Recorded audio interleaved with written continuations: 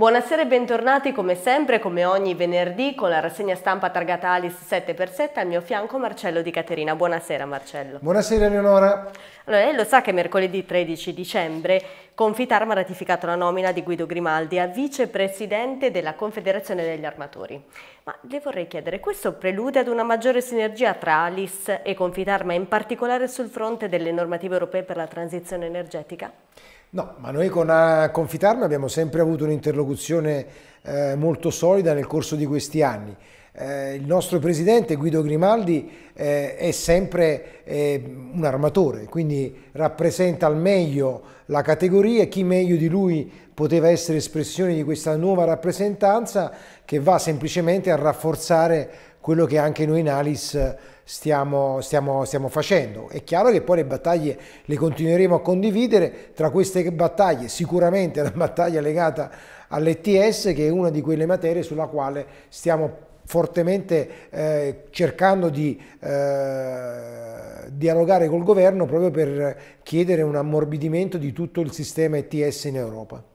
A proposito d'Europa, Ieri ed oggi a Bruxelles si è tenuto un consiglio che doveva essere decisivo per il futuro sì. dell'Unione, invece nulla di fatto, complice anche Orban che ha bloccato tutto.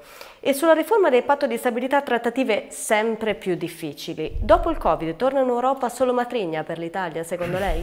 Ma eh, Orban eh, chiaramente eh, mette il, diciamo, la, eh, forte attenzione sulla questione legata ai finanziamenti eh, all'Ucraina e, e, crea un po' di ostacoli rispetto a quello che è un'Europa che deve essere più forte, cioè noi dobbiamo puntare ad avere maggiore positività, maggiore rapidità decisionale e queste eh, situazioni invece indeboliscono il sistema europeo e rendono quindi il nostro, il nostro continente sicuramente meno veloce rispetto a delle logiche di crescita che richiedono un atteggiamento sicuramente eh, di una sburocratizzazione più rapida eh, di quella che invece stiamo vivendo in questi giorni. Quindi lei si augura un'Europa più produttiva da questo punto di vista? Assolutamente sì, sicuramente i temi di Orban che tra l'altro si inseriscono in un contesto elettorale perché non dimentichiamo che tutto questo nasce appunto prima di un periodo elettorale di, del prossimo anno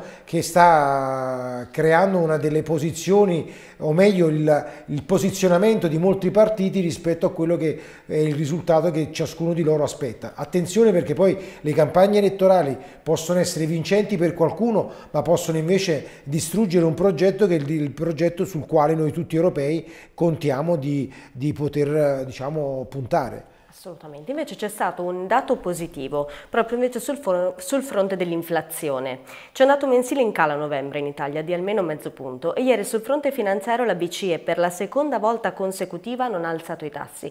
Stiamo uscendo dalla crisi forse? No, più che stiamo uscendo dalla crisi, noi ce lo auguriamo, auspichiamo che la crisi sia alle porte, però è evidente che questa è una fase di eh, equilibrio legata sostanzialmente al mantenimento dei prezzi del, dei prodotti energetici, sono quelli che poi determinano in buona sostanza eh, l'aumento eh, del, dell'inflazione oppure no. Ci auguriamo che questa eh, sia l'apertura, una strada che sia verso quella risoluzione delle crisi anche perché non dimentichiamo che questi aumenti dei tassi che abbiamo avuto fino ad oggi hanno inciso molto sulle famiglie italiane, hanno inciso molto su quello che era l'indebitamento delle famiglie di tutta Europa, riteniamo che questo sia dannoso anche perché le stesse famiglie oggi hanno difficoltà a pagare il mutuo di fine mese per esempio. Certamente. E veniamo proprio al lavoro in Italia. Occupati a massimi storici, ma una ricerca Manpower diffusa ad inizio settimana certifica che le aziende non riescono a coprire ben il 75% delle nuove posizioni di personale specializzato.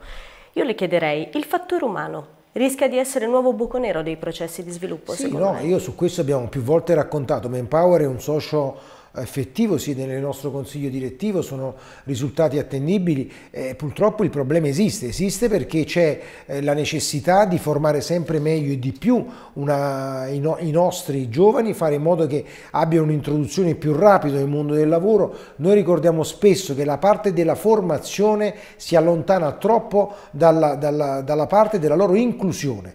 Tutto questo deve avvenire con tempi più rapidi e soprattutto generando meno costi di formazione soluzione per le famiglie.